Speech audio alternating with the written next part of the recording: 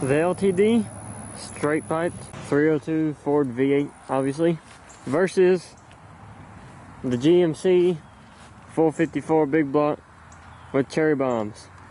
Both of them are true dual. Let's see which one's louder in the rev battle.